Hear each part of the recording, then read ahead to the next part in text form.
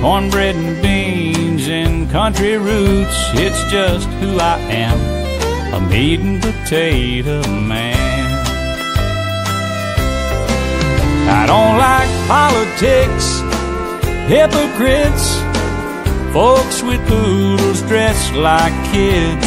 I'm a hound dog fan, a meat and potato man.